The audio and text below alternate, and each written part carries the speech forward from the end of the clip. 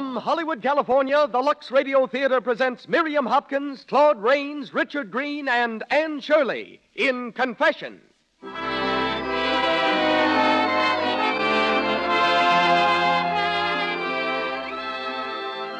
Lux presents Hollywood. Confession is a drama of the present and the past, of a romance that faltered, of sacrifice and devotion stronger than time. Confession brings to our stage Miriam Hopkins, Claude Rains, Richard Greene, and Anne Shirley. Between the acts, as special guest, you'll hear Dr. Herman Lissauer, head of Warner Brothers Research Department. The music of the Lux Radio Theater is conducted by Louis Silvers. Before introducing our producer, may I offer a brief suggestion? There isn't a man alive who doesn't admire a lovely, fresh complexion. It's so important to be careful about cosmetic skin. Clever women everywhere, like nine out of ten screen stars, use Lux toilet soap regularly. This gentle soap has active lather that removes dust and dirt, stale cosmetics thoroughly, leaves skin soft and smooth. And now, the producer of the Lux Radio Theater. Ladies and gentlemen, Mr. Cecil B. DeMille.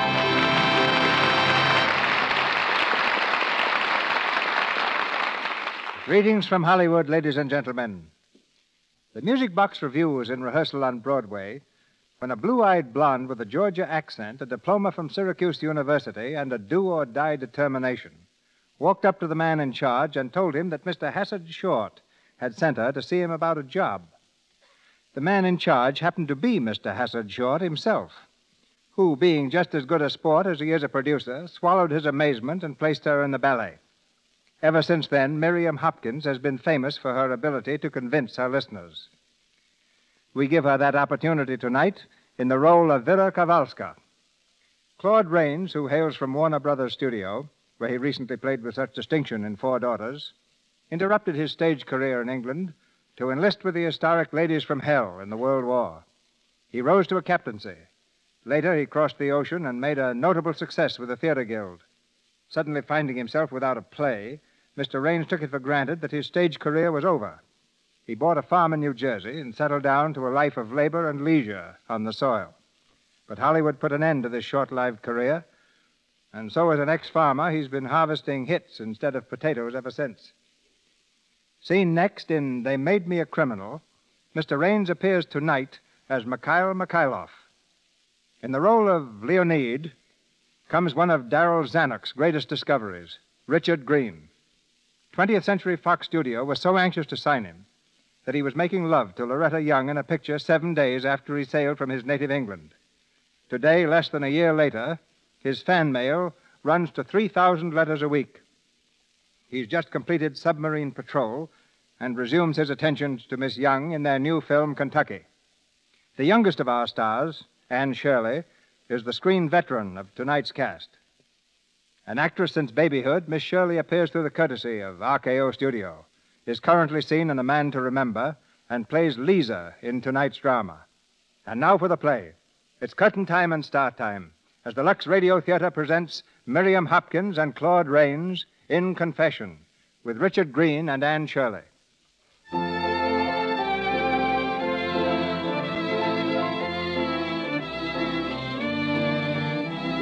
Cafe in a European capital, a tawdry sort of place with a spotlight playing down from the balcony, revealing customers, for the most part, no more respectable than the cafe itself.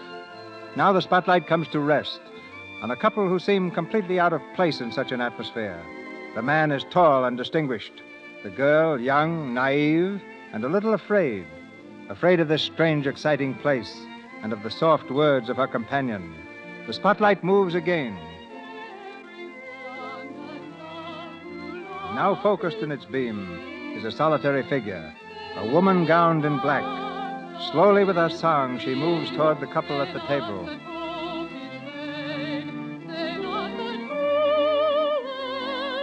The woman in black has stopped. Her song abruptly ended. She stands transfixed, horrified, looking at the two in that booth before her. Then, with a quick movement, she turns away and hurries from the floor. The man in the booth whispers something to the young girl. They rise to go. They reach the stairway when suddenly. Mikhail Mikhailov! The man turns. There at the foot of the stair is the singer, a revolver in her hands. The man's face is frozen with horror. No, no, no, All right. Quiet. Quiet here. You. You were with this man, weren't you? Answer. Yes, yes, officer, I was. But... Just answer questions. Who was this man? Mikhail Mikhailov, the pianist. And who are you? How long have you known him? What do you know about the shooting? My name is I. I'm Lisa Kozlov. I only met him. Oh, please, please don't make me answer now. You'll answer whenever I want. The man's been killed Leave here. her alone. I killed him, and that's all that's necessary. I killed him, and I'm glad. Do you understand that? I'm glad.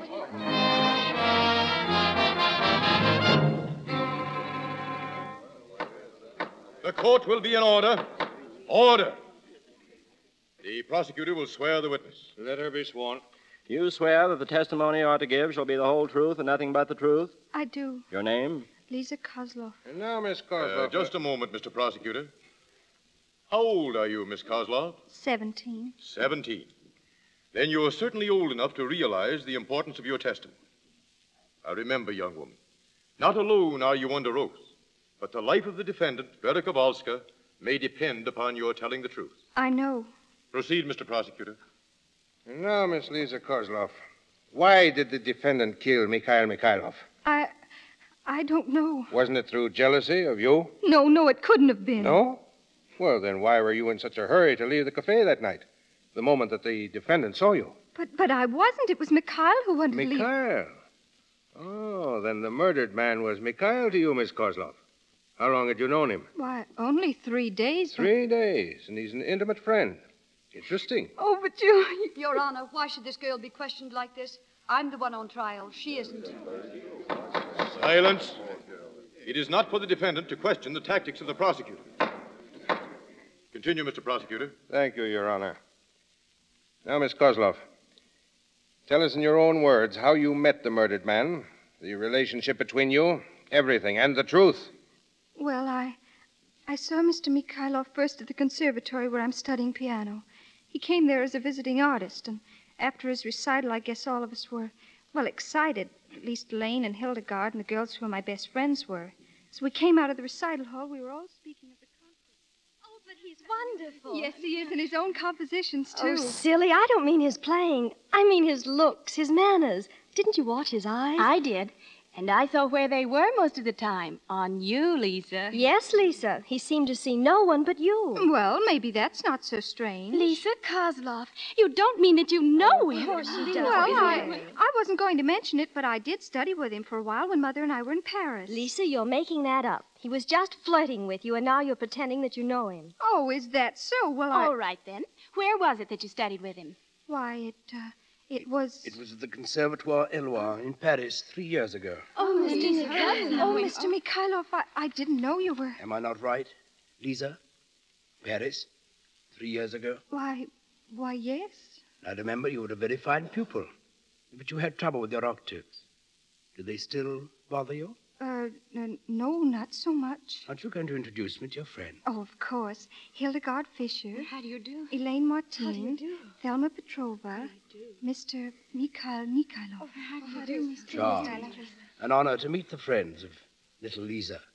And now, if you will excuse us. Oh, of course, of course. Happy to have met you. Goodbye, Lisa. Oh, Mr. Mikhailov, I, I forgive me. I... Not here. You can explain why we are having tea together. Tea? Oh, but I couldn't. Oh, yes, you can, my dear. Remember, I tolerate no arguments from my pupils. Now, suppose we leave at once. That was our meeting. Of course, he, he'd never really been my teacher. I, I just said that to the girls to impress them. Well, we went to tea, and when he took me home, he asked me to meet him the next morning to ride in the park. And you met him, of course. No, I can't say that I didn't want to. Mr. Mikhailov was, well, different from anyone I'd ever known. But my mother was away from home at the time, and somehow I knew that she wouldn't approve. So next day at three o'clock, I was at the conservatory for my lesson. In fact, I was a little late, so I hurried into the lesson room. But Professor Heinzen wasn't there. Instead, it was. You're late. I don't approve of my pupils being late. Mr. Mikhailov, what are you doing here? Doing? By giving you a lesson. I thought that as long as you told your schoolmates I was once your piano teacher, it wouldn't do any harm for Professor Heinzen to know, too. And he consented to my giving you your lesson. Oh, you didn't. You mean the professor's not coming at all? No, Lisa? Shall we begin? Please. Please, Mr. Mikhailov, we, we shouldn't. I mean. Now let's see what we've got here. Oh, yes, Mozart's Sonata in A major. Quite. The first movement begins with this theme.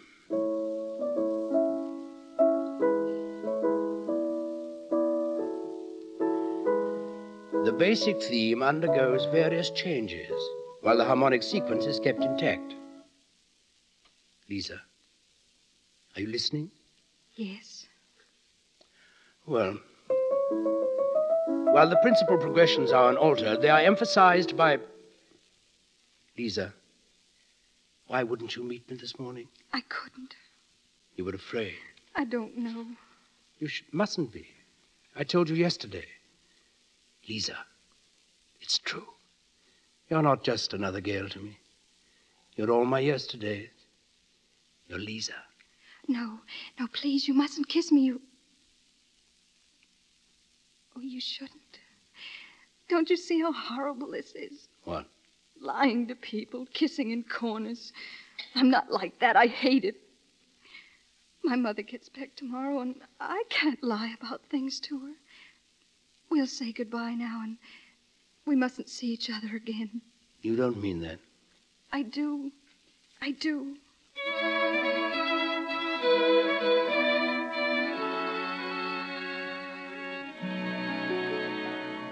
Then it was a grand trip, Mother. Perfect, except being very lonely for a certain young lady I know. Lisa. Lisa, darling, is something wrong? Wrong? You seem so pale. You haven't been overdoing. No, Mother, I- I'm all right. It's just. Uh, Madame Kozlov, Yes, Lona? there's a woman out here to see you. She won't give her name. Well, that's strange. Well, I'll see her in just a moment. Yes, Madame. While I'm gone, Lisa, you might be seeing what you think of this. It's for a certain long legged duckling I used to know. Mother, a new gown, and it's it's practically backless. That makes it official. I'm really grown up. Oh, you darling, you're the grandest mother in the world. Will you be trying it on, dear? And I'll be back in a moment.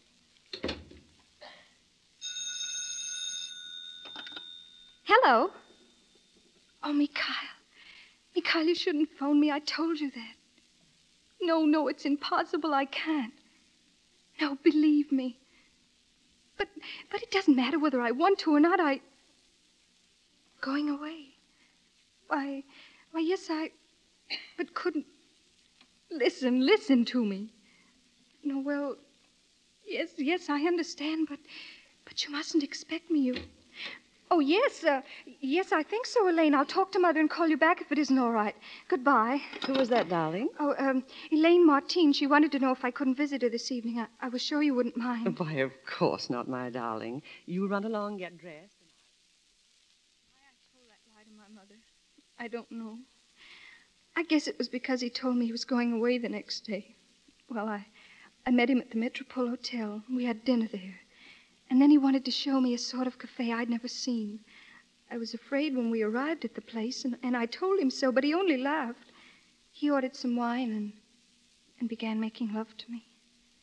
He, he was saying all sorts of impossible things, but I couldn't stop him. And then suddenly the spotlight was directly on us, and the woman was singing on the dance floor right in front of Uh, us. just a moment. You're referring now to Vera Kowalska, the defendant in this trial? Yes. When he saw her, he suddenly straightened up. I never saw such a look in anyone's eyes. And then, then she saw us and she stopped singing. From, from then on, I, I'm not quite sure what happened. He said we must go and we started out, but as we reached the top of the steps, she called out, Mikhail Mikhailov. He turned back and tried to stop, but then I heard the shots and he fell and that's all I know. That's all I know, I swear it. Thank you, Miss Kozlov. Thank you. That's all of the examination for the prosecution, Your Honor. The attorney for the defense? The defense has no questions. Your next witness, Mr. Prosecutor. That was our final witness, Your Honor. The case of the prosecution is closed. Hmm. Counsel for defense, call your first witness. There will be no witnesses, Your Honor. The defense has no testimony to offer. Our case is closed. Silence! Silence! The defendant, Vera Kowalska, will rise. Defendant, the court must warn you of the inevitable consequences of your silence in this matter. There is nothing for me to say. I killed him. But you can tell us why you killed this man. Perhaps there are extenuating circumstances. Perhaps. There aren't. He deserved to die, and I killed him. That's all that need be said. Let them sentence me. Very well. Mr. Prosecutor, your closing argument. Your Honor, gentlemen of the jury, what need I say? The accused has convicted herself more completely, more certainly than could the words of the most eloquent of prosecutors. The crime, gentlemen, murder. The motive, jealousy of the girl Lisa Kozlov. And the punishment, death. You have no alternative.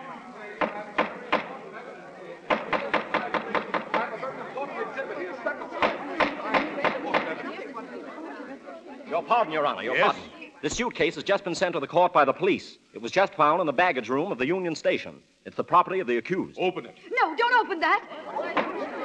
Silence. The case is closed. Finished. That suitcase has nothing to do with it. Nothing at all.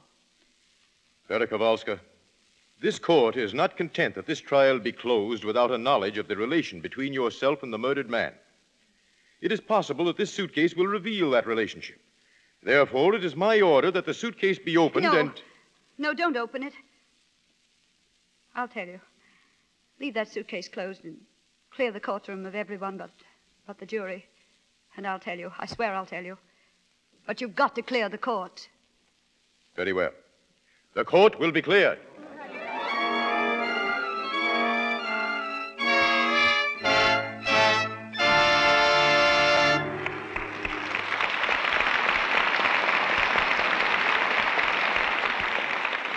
Now, during our intermission time, before we continue with Act Two of Confession, starring Miriam Hopkins, Claude Rains, Richard Greene, and Anne Shirley, we're going to listen in for a few minutes on the life of Joan Smith, a young Hollywood extra who's just gotten her first real part. Tonight, she's been celebrating with her best beau. It's been a perfect evening, Bill. I love the dancing. and did little Billy love it? oh, gosh, Joan, you're the sweetest girl. I could dance with you forever. oh, thanks, Bill. Now I have to run. Big day tomorrow. Good night, Bill. Uh, well, uh, good night then, Joan. You're sweet.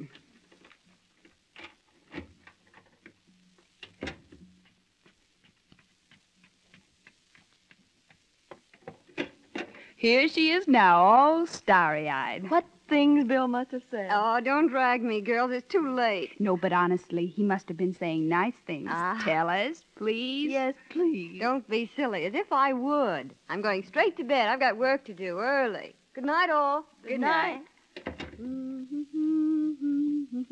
Just as if I'd tell them the nice things Bill said.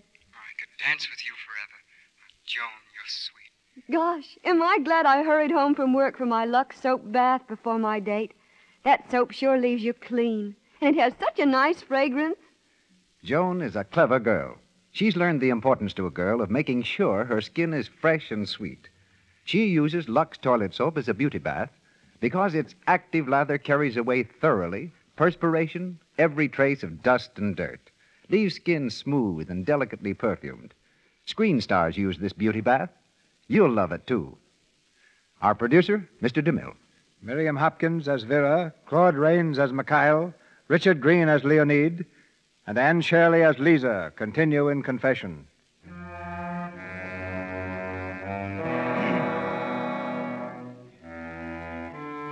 The courtroom has been cleared. Facing only the judge and jury, Vera Kowalska is prepared to testify, to tell why she killed Mikhail Mikhailov. For a long moment, she stands surveying the anxious faces about her. Then at last, she speaks. Your Honor, before I begin, I must be sure that nothing I say here will become public knowledge. The accused may be sure of that. Proceed. Well, it was in 1912 in Warsaw. I was a leading singer of the Imperial Opera there, and this particular night was to me perhaps the most important of my career because it was to be my last.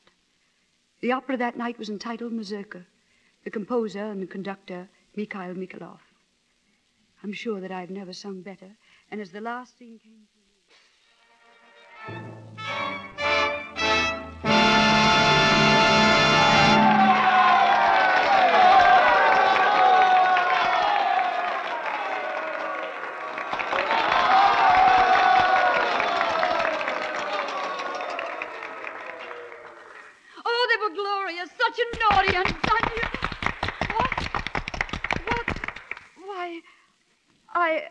Hope for applause from them out there, but from you, my fellow Uh, singers. Stella, you do the honors for all of us, hmm? All right. Vera, for all of us, this is goodbye and good luck. We refuse to believe that any man is worthy of you or has a right to take you and your voice away from us. But it's evidently too late to make you see the light now. and so, in, in your marriage tomorrow to Captain Kirov, we, we want you to know, Vera, that you take with you the love and, and the good wishes of us all. Thank you, Stella. And all of you. I know that nothing except my love for Leonid could ever make up to me for losing you and all this. Oh, thank you. Well, I must go and dress. Goodbye. Well, Fine, that felt like the climax of the second act. Mikhail. I waited to make my farewell in private. I have no taste for public demonstrations. Mikhail Mikhailov, your gallantry is only exceeded by your vanity. Goodbye, and get out of my dressing room. You sang superbly tonight, Vera. Oh, the real credit belongs to your opera. My opera is but scribbled notes on manuscript. It was your singing that made it great music. Oh. Vera, you can't do it. What can't I do? Come on, give it up. Marriage isn't for you. At least not this kind of marriage. An army captain. No, really. Music is your world, my dear. Now and forever. Wait, this is all terribly serious to me, Mikhail, and I'd rather not joke about it. Joking? But I'm not joking. Now, if you were to talk of marrying someone else, Mikhail Mikhailov, for instance. I don't suppose it matters that Mikhail Mikhailov already has a wife. Uh, Wanda? Oh, ancient history, my dear. Vera, darling. Oh, Mikhailov. Congratulations. Your opera was wonderful. Well, thank you. You come in good time. I was just trying to persuade your fiancée to jilt you at the altar and marry me instead. Oh, were you? Well, I take it all back about your opera. It was terrible. in My opinion exactly. Glad you agree with me. Well, I'll run along. The very worst of luck to you both. Hmm. An intriguing sense of humor some people have. Vera, what did that fellow want in here? Oh, nothing of importance. But I'm glad to see that you're jealous. Would that mean you love the lady, Captain Kirov? It would mean that I adore the lady. Do you, my darling? Are you sure? Very sure. Now and forever. Now and forever. And there's nothing ever that can separate us.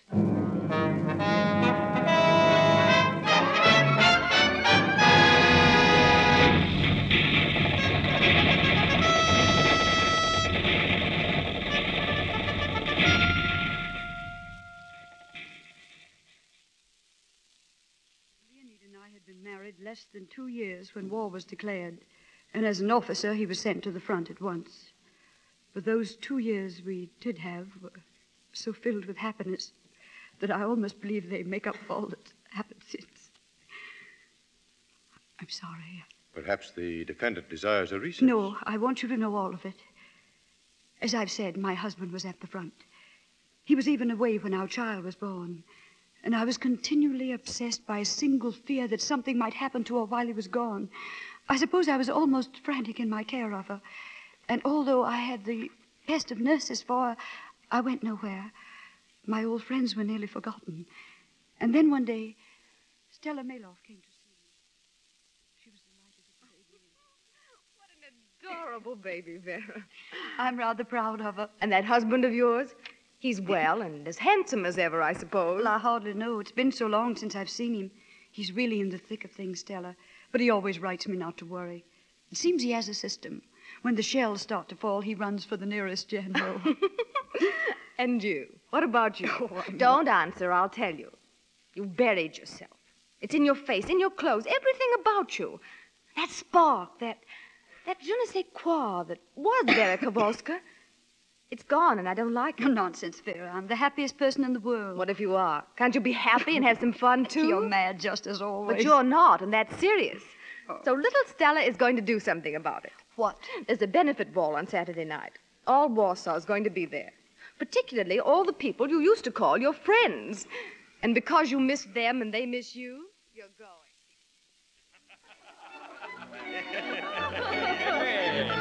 It's Vera, Vera Kowalska. You don't know how good it is to see you again, Vera. Stella says you have a baby. Yes. Does she sing yet? Oh, and how is your husband? Oh, I warn you not to ask her about her husband. She's rabid on the subject. The man is winning the war single-handed. oh, how I've missed you all.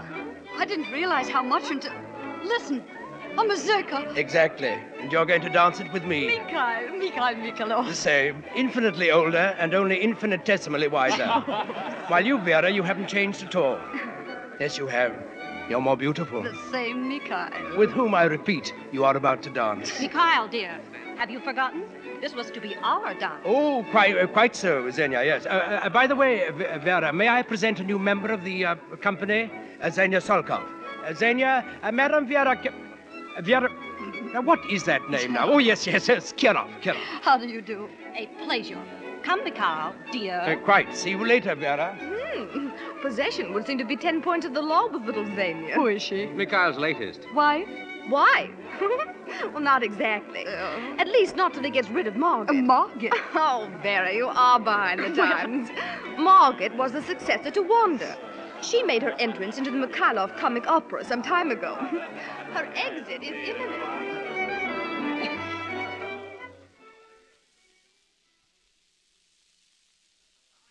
Attention! Attention, all of you. There may be those among you who are under the delusion that this ball is ended simply because the other guests have all gone home. Not at all. We, my friends, may remain sans orchestra, it is true, but still we may remain until dawn if it pleases us. It has been arranged by a scoundrel named Mikhailov. Oh, but it's late, Mikhail. We should go home, all of us. Impossible, Vera. My friends, there is, I confess, a purpose to my keeping you all here. After all, we are good friends. And there is a tribute to an old friend returned that we surely have not forgotten. Bedana. A tumbler of vodka, and each of us chanting till she downs it at one gulp. That is our tribute to Vera. And if she is still one of us, she cannot refuse. Mikhail, no, not vodka. I can't. Oh, yes, you can. Here, uh, Xenia. Xenia, you hold the glass while I. Well, that was too good an exit. Must have been rehearsed. You will pardon Xenia's manners, Vera. I suppose it's just that she's young. Uh, another glass. Now, a tray. And the filled glass upon it, and. Mikhail, please. I appreciate your. Better not, better not, better not. Better not, better not. Don't do it, Vera. Not that much vodka. Stella, I've got to. I can't insult them. I... She's going to do it. Good girl. Down at Vera. Who said Vera no longer was one of us? Oh, Vera does. Ooh. And now I. Well, I thank you all again. But I must go home. I'm already seeing you all double. And by the time that vodka takes effect. Perhaps you're right, Vera. I'll see you home. That won't be necessary, Mikhail. Why, of course it is. Would you have me let the guest of honor go unescorted? I can go home with her myself. Stella, you amaze me. I actually believe you mistrust me. Come on, Vera. All right. Night, everybody. A grand party. good Oh, Mikhail, get me air. Quickly. This is, this is good of you, Mikhail. Wouldn't do. Try to go home alone. Wouldn't do. I'm glad you came tonight, Vera. I'd hoped Stella would bring you. That's why I told her where to find you. Did you know it was I who found you first? Vera? Vera.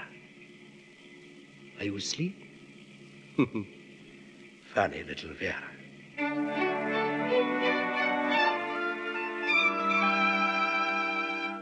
You say she didn't come home all night and she didn't call? No, ma'am. Madame Kirov didn't call all night. I've been so worried, ma'am. What with the baby and all, I've... There she is now. Wait here, please. Vera. Stella. Oh, Stella. Don't cry. Oh, my poor child. The baby. She's all right. Yes, the nurse is with her. Oh, Vera, when I came here and found you hadn't come home, I was nearly crazy. Oh, Vera. It didn't happen. Not to me. It couldn't. It's not possible. It's not. Oh, Stella, why? Why to me? Why? Darling, it was no more your fault than mine. Captain Kirov! Listen. Good morning, Sarah. Where's Madame Kirov, Sarah? Why, why, I'm not quite sure, sir. But the baby is just inside. Would you like to see her now? Of course I would. Will you find Madame Kirov and tell her I'm home? Oh, yes, sir. I imagine it will be a bit of a surprise. I didn't let her know I was coming. Stella, it's Leonid. He's home. He's here now. Quickly, Vera. Go up to your room. He mustn't see you in that dress. No, I've got to tell him, Stella. Are you mad? He's my husband. He has a right to know. He'll understand. But not now. Please, Vera. You can tell him later. Go on, I'll keep him down here. Hurry. Very well. It doesn't matter much whether now or later. Perhaps she went out without telling me, sir. Very well. When she comes in, would you mind telling her? Oh, I beg your pardon. Good morning, Captain Kirov. Good morning. I'm Stella Maloff. I was in the opera company with Vera. I've been visiting her here the last few days. Madame Marloff, of course. And you're most welcome. Do you suppose, Madame, that my wife is as skilled an actress as yourself? I don't know what you mean, Captain. I've watched your eyes, Madame. They never betrayed for an instant that you even noticed this this empty sleeve of mine. My congratulations. Vera doesn't know? No, Well, was was that wise, Captain Kirov? I don't know. There are some things one lacks the bravery to write. And is there greater bravery in confronting her like this, unwarned? Do you think I wanted to? Do you suppose that in these weeks I haven't seen her face before me a thousand times? The pity in her eyes when she sees this. It must not be, Captain Kirov. For has taken your own. She must know before she meets you. Well, how? I'll tell her, and then I'll send it to you. Oh, it will be easier from someone else, believe me. Will it? I don't know any longer. I've thought of it too long. If you will, Madame Maloff. She'll be smiling when she comes to you. You'll see. Vera. Well, Listen to me. Listen and say nothing until I've finished. You believe in your heart that last night is the most important thing in the lives of you and your husband at this moment. Well, it's not. You said a moment ago that because you love him, you must tell him. yes. If you do love him, you can't. Stella. Wait. He needs you, Vera. He's hurt. No. He's. He's lost an arm, Vera. Lost it fighting for the thing in which he believes. Oh, you can't tell him, Vera. You must see that. Where is he now? In the library. And Vera, Yes.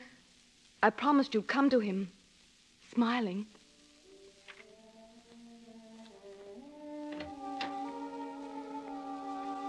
Leonid. Vera, Oh, my darling. My own darling. let me look at you. Oh. She was right. You are smiling. Then it makes no difference to you, my dear. We're together again, Leonid. That's all that matters. We're together. You and I and our baby. And it was true. What had happened to my husband only made my love for him stronger. And I think there were times when I even blessed that empty sleeve because it meant he wouldn't have to leave us again. And I did make him happy, I'm sure of it. One moment. Do I understand that you still refrain from telling your husband of the uh, incident involving Mikhail Mikhailov? I couldn't tell him you can understand that, what it would have meant to him under the circumstances. And so I determined for both our sakes to try and forget everything. There was no chance for me to do that. And why not? Mikhail kept trying to see me again letters, phone calls, ever more insistent. The man was mad. He said he'd stop at nothing unless I'd consent to see him again.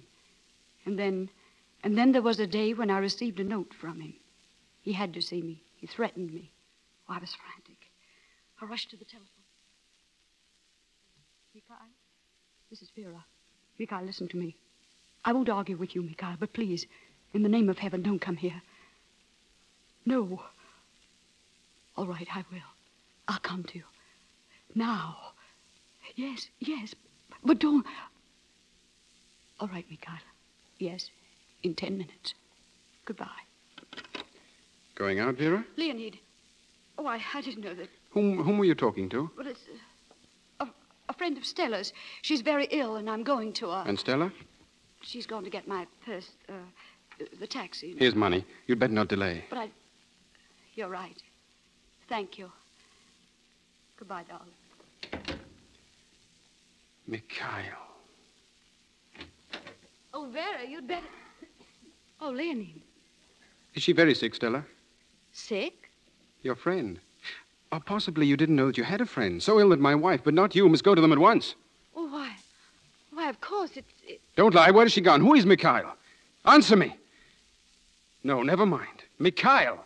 I know. I remember.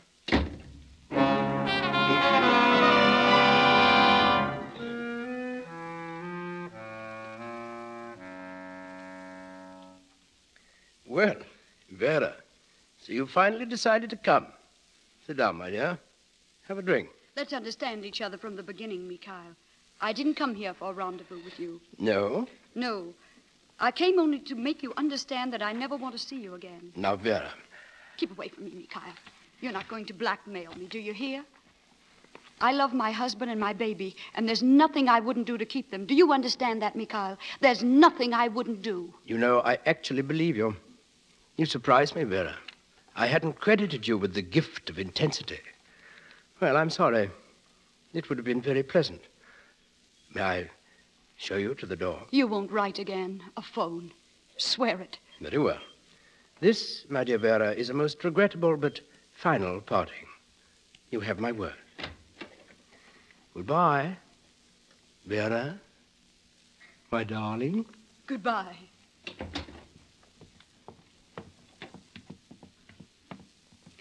Would seem that Stella's friends recover quickly. Leonid. Yes, I followed you, Vera. Do you mind? Oh, my, oh, my darling, listen to me. You've got to understand. You've been seeing this man, haven't you? This old friend. Leonid, please. Do you want to I... deny it? Can you deny it? Leonid, I. I Thanks. And you needn't hurry about following me home. You'll find you're welcome here, perhaps. You won't be there. No, Leonid!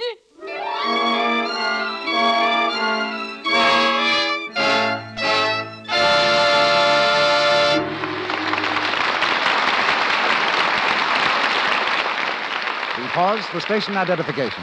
This is the Columbia Broadcasting System.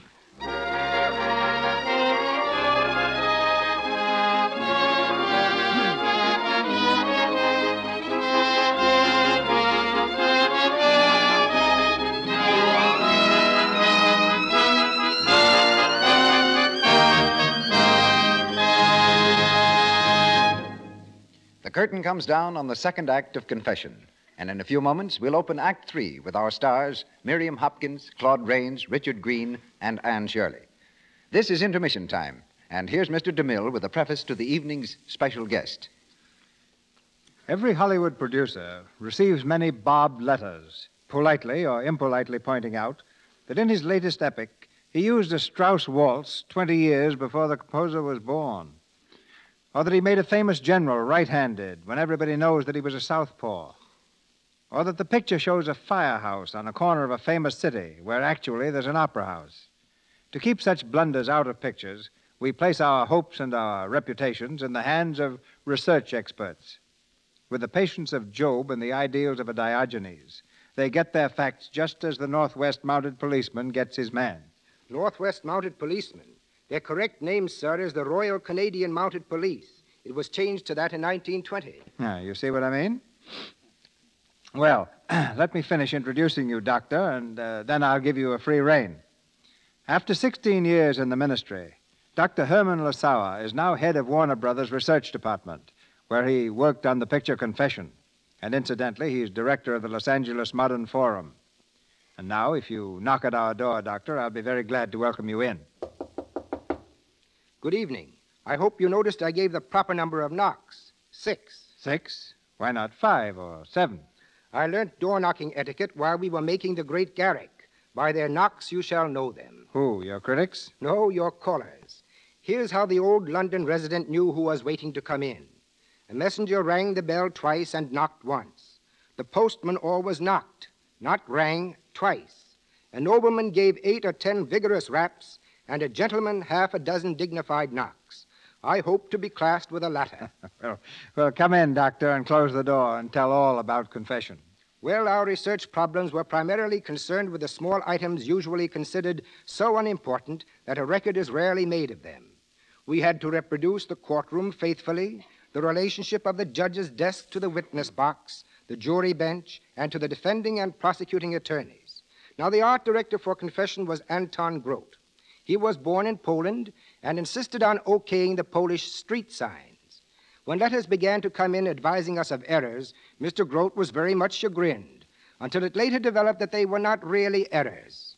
It seems that since Grot left Poland, the language had undergone radical changes, and even his own name was so different he didn't recognize it. And now, Mr. DeMille, what have you come across researching for Union Pacific? Well, for one thing, the origin of the word highball. It comes from an old railroad signal consisting of a pole and a ball. If the engineer sh- saw the ball at the top of the pole, it meant he had the right of way. Later on, when the railroad men met off duty, the term highball came to be associated with their friendly meeting. Such meetings, not infrequently, involved having a drink together. And so the word highball came to be identified with a drink. But Union Pacific happens to be in exactly the same period as your new picture, Dodge City. So perhaps you have a few discoveries I might steal? Well, telling you about bathtubs is like carrying the well known coals. Hmm. but as civilization went westward, so went the bathtub. Located in barber shops, they were patronized by the cowboys who waited their turns in long lines after a cattle drive. I don't know what kind of soap they used, but it doesn't require a research expert, Mr. DeMille, to know what kind of soap is used these days in Hollywood. Anyone who's visited the studios knows that Lux soap is used by about every star and studio worker in the business. Now, centuries ago, if you'd had a cake of Lux soap, you could have used it instead of money.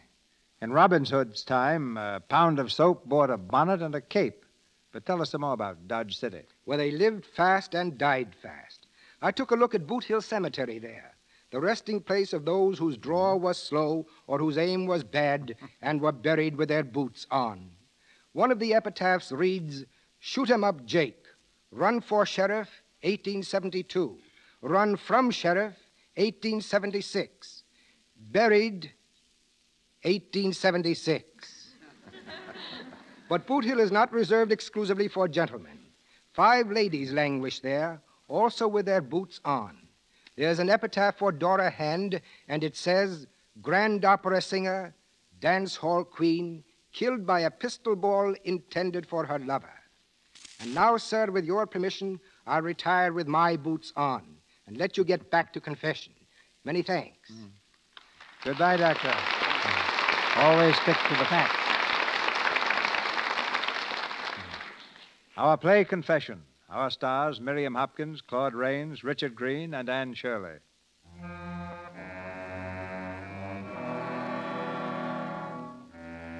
Behind closed doors, in a courtroom cleared of witnesses and spectators, Vera Kowalska continues her testimony.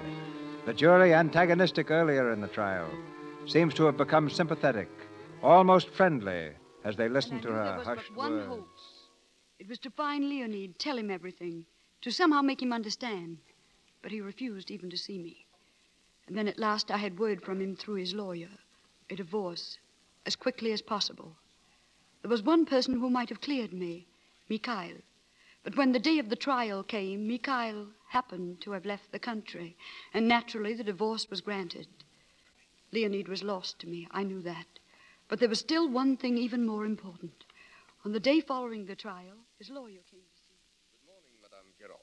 Mr. Stevens, tell me, could you do anything? Madame, you have my sympathy in this matter. But the law specifically states that where the marriage is broken through the fault Oh, of the wife. Oh, never mind all that. Are they going to let me keep my child? No, Madame. Complete custody is granted to her father. Complete custody. You mean I can't even see her? In cases of this sort, it's the law, Madame. But but Leonid won't do this to me. He can't. Whatever the law may say, I won't give her up. I'll keep my child. I don't think so, Madame Kiroff. Good day, Madame. And he was right. There was nothing I could do. She was taken from me. After that breakdown, months in a hospital. When I left, I found that Leonid and my child were gone from Warsaw, disappeared. From then on. Your Honor, I fail to see the necessity of the accused prolonging this tragic tale of hers any longer. What she's been trying to say is that the man Mikhailov came between her and her husband. Well, what difference does it make? The man is dead. Whether she killed him from jealousy or revenge. It wasn't for revenge. There was a time when I believe I would have killed him for that. But that wasn't the reason that I did. Then, as I said before, jealousy. The girl, Lisa Kozlov. And it wasn't for jealousy of Lisa Kozlov. Your Honor, May I go on, please? The accused may continue. Then, Your Honor, I protest against the exclusion of witnesses and spectators. There's nothing in the testimony of the accused that couldn't be heard in open court. Please, Your Honor, don't admit the witnesses. Just let me finish. I can make you understand why. And the suitcase, Madame Kowalska? You will explain that as well? Yes, everything. The accused may continue. Thank you. I, uh, I, I don't, rem- I don't remember where I was. Read the last testimony given. When I left the hospital, I found that Leonide and my child had left Warsaw, disappeared. Oh, yes. Well, from then on, Yes, um, Leonid had left some money in my name, but I spent nearly all of it trying to trace them. It was no use. Then I had to think of some way to live. I knew I could never sing in the opera again, but I did have voice enough left for one thing cabarets, small theaters, amusement parks. Fifteen years of them all over Europe.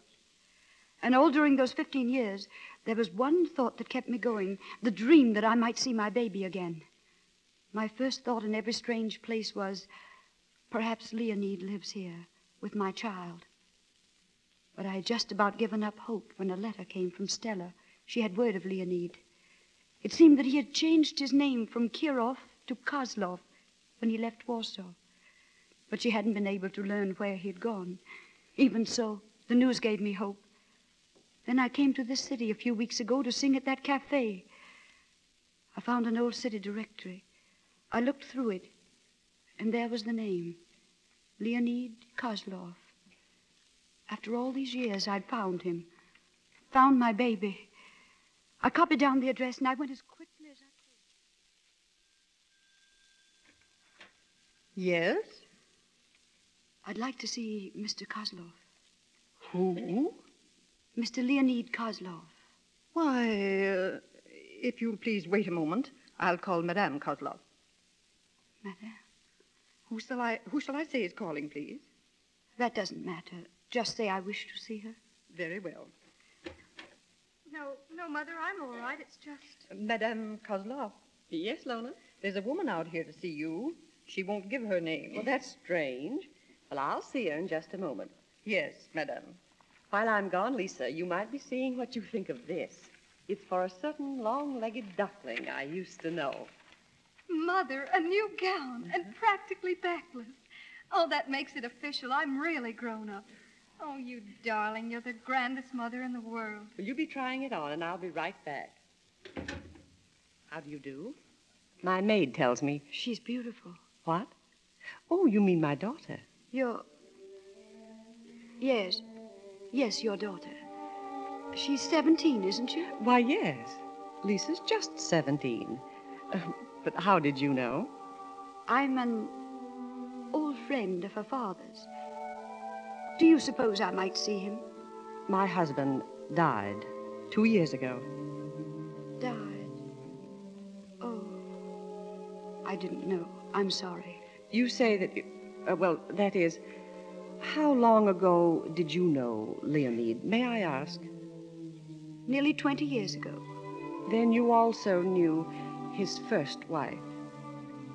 Yes, I knew her. I knew her rather well. Then, uh, well, please try to understand, but Lisa, Lisa doesn't know that I'm not her real mother. I see. Leonid wished it so. I didn't. I'd always planned to tell her the truth when she grew up. How her own mother died years ago in Warsaw. Her mother died in Warsaw. Oh, you didn't know that? I didn't know. But then, as Lisa grew older and still fonder of me, I couldn't tell her.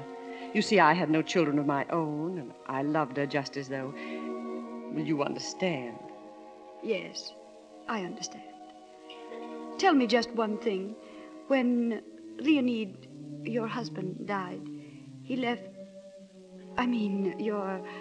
your daughter is sure to be well provided for. Oh, yes. Well, I guess that's all that matters. I'll. I'll be going on. Goodbye, and thank you. Goodbye.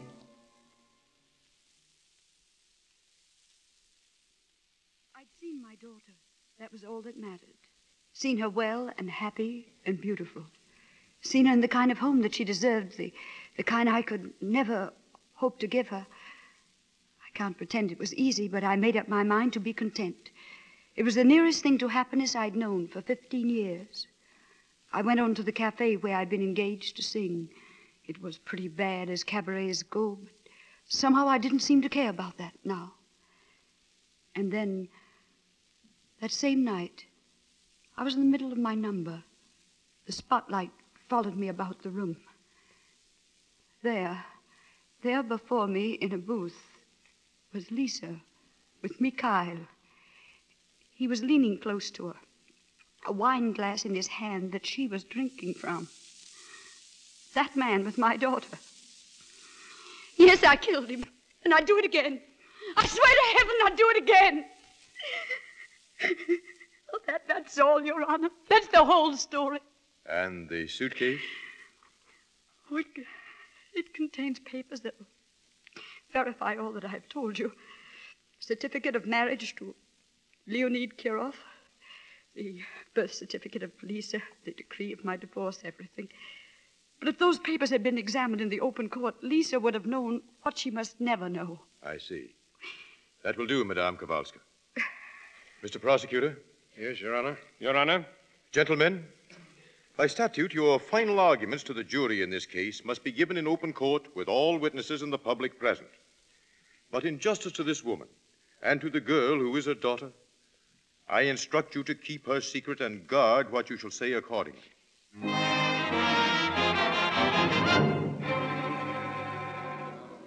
Why should they be so long, Mother? Oh, I don't know, dear. You can never tell about juries. Sometimes they'll reach a verdict in They've a... got to acquit that poor woman, Mother. They've got to. If only what her lawyer said was true, that her secret testimony proves she was justified in killing him. Yes. Do you realize, Mother? It's really only because of me that this happened. If it weren't for me, he mightn't have been in that cafe that night. Yes, I know, I know, dear. Oh, Lisa, darling, you mustn't... Oh, the jury, they're back. This court will be in order. Gentlemen of the jury, you have agreed upon a verdict? We have, Your Honor. Clerk, the verdict. The accused will rise. The accused, Vera Kowalska, has been found guilty of murder in the second degree. Your sentence, three years in prison. Due to the mitigating circumstances of this case, the court will endorse a plea for pardon whenever the accused shall enter such plea. It may well be questioned why the court is so lenient.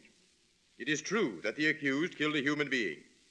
But during that testimony given behind closed doors, it became clear to all of us that the real actuating motive behind her crime was to save a young girl from the advances of a man of the lowest possible moral character. This case is closed. Court is adjourned. Oh, Mother, did you hear it? She's going free. She's going free. Yes, come, dear. Oh, no, no, wait, please. I've got to speak to her. Well, uh, all right, dear. Excuse me. May I get through? Excuse me. Madame Kowalska. Yes? Oh, what is it, please? I just wanted. I wanted to tell you that I wish you the best of everything. Goodbye. Thank you, Miss Lisa. Goodbye.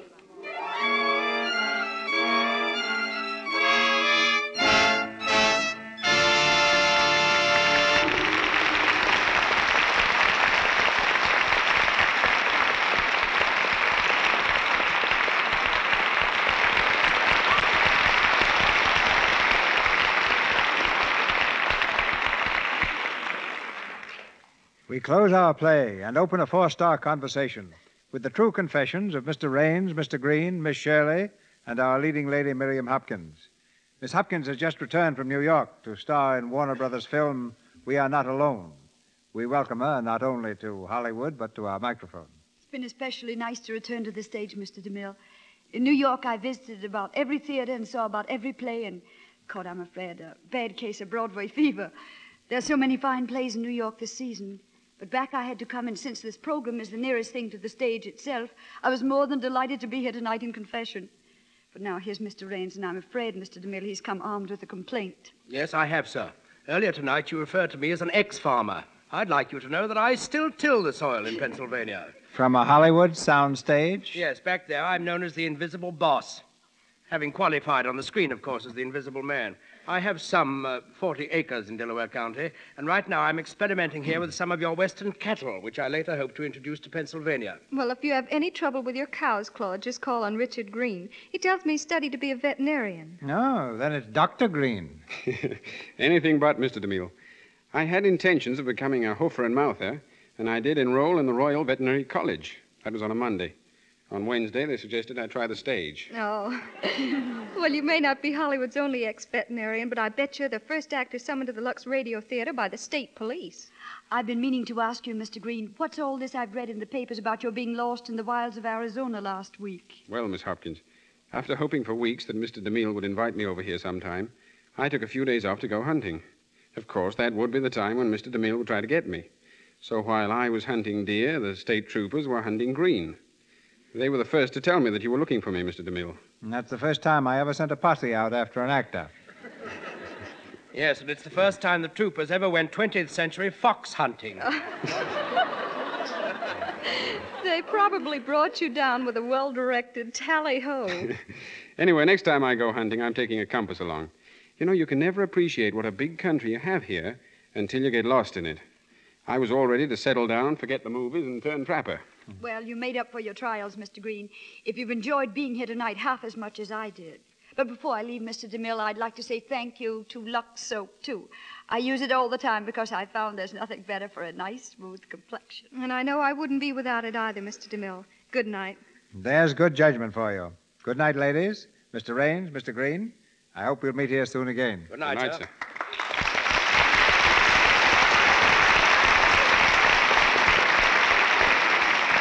We know you're interested to learn what the play and who the stars will be next Monday night. Well, in just a moment, Mr. DeMille brings you the news. In tonight's cast, you heard Cy Kendall as prosecutor, Margaret Brayton as Stella Meloff, Ted Osborne as counsel, Arthur Van Slyke as judge, Myra Marsh as Mrs. Kozloff, Ethel Sykes as Xenia Salkoff, Edwin Max as an officer, David Kerman as a clerk, Ilya Braca as Elaine Martin, Jerry Gale as Hildegard, Justina Wayne as a maid, Teresa Carmo as a nurse, and James Eagles as a court reporter. Dr. Herman Lissauer, who was our guest tonight, appeared through the courtesy of Warner Brothers, where he's been working on their latest picture, just released, Angels with Dirty Faces, starring James Cagney and Pat O'Brien. Louis Silvers appeared through courtesy of 20th Century Fox Studio, where he was in charge of music for the new film Submarine Patrol. Mr. DeMille. Not all the cruelties of war occur on the battlefield. Often they enter the home, as they do in our play next Monday night. It's the story of an army officer who, after being reported killed at the front, returns to find that his wife is married again. Another girl, learning that he's alive, begins to blackmail the wife. Around this situation, the celebrated drama Interference is woven. A great success in England, on Broadway, and twice on the screen. Interference brings to our stage four splendid stars Herbert Marshall, Leslie Howard, Mary Astor, and Gail Patrick.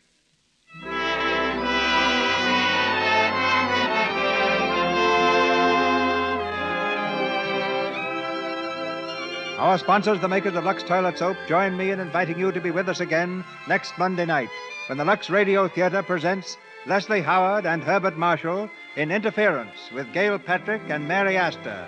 This is Cecil B. DeMille saying good night to you from Hollywood.